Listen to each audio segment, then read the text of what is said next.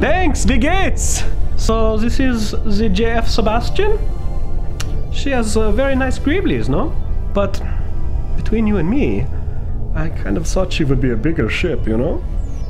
With all due respect, Commander, the JF's big enough to get the job done. Yeah, yeah, this, this is... I used to serve under Commander Schneider. It didn't end under the best circumstances. Banks is a screw up. I hear he's only one schnitzer away from being broken down to lieutenant.